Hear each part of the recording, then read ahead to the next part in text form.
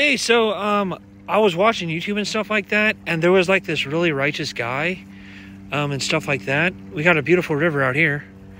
It's amazing, this river. It's a beautiful town, this town it is.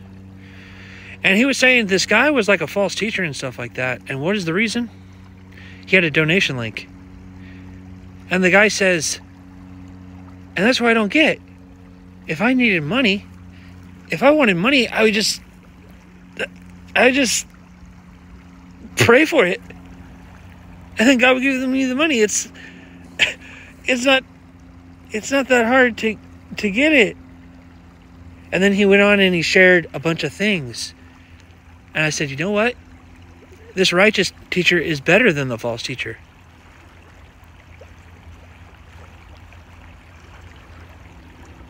I think so.